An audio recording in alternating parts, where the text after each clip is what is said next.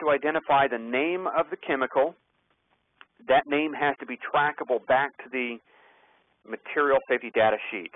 So for instance, now I can take a Sharpie out and I can write, right on that spray bottle, the name of the product. What if I wrote toilet bowl cleaner? Is that, is that appropriate? You have to ask yourself, could you go into your MSDS binder online, whatever the case might be, could you find an MSDS for toilet bowl cleaner? And you could, well you could, but there'd be hundreds of them. What you need is the, the actual name, Sandy Fresh, Tidy Bowl, Simple Green, you know, whatever, whatever that uh, product is named. So put the name of the product. Most of us are doing a good job of this. We're forgetting the next part. We've got to put the, the hazard warning underneath the name. So, for instance, a hazard warning might be harmful if swallowed, flammable, irritant, those types of things. We can use words like flammable.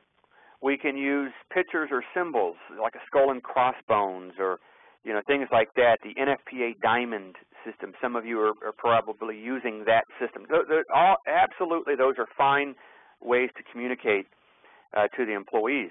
Now, if you're using anything besides words, if you're using pictures or symbols, you got to make sure that you're training your employees to understand what those symbols mean.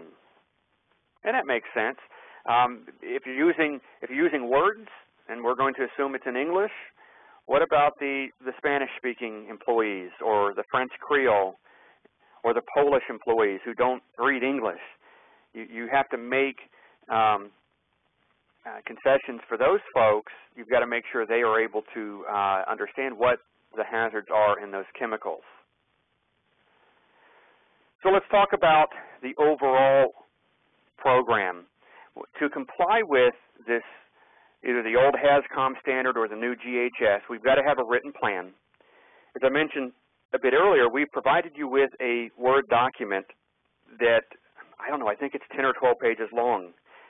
It, it's pretty extensive, but it covers what's required by OSHA from a written plan standpoint. Now what you're going to do, and we've highlighted things in red, you're going to go in and put your specific company information and, and some of your procedures and, and things like that in there. But we've given you this template to work with, so you can you should be able to check that one off. The chemical inventory is the um, document that I just showed you that goes in front of your binder. And if, if you need a copy of that, email me at the end and I'll get that out to you. Labels and warnings we're going to talk about. We just we talked about the secondary container labels, but we're going to get more into this new labeling system. Training as well, we've, uh, we've given you a document to download to train your employees downstream, and then the MSDS documents.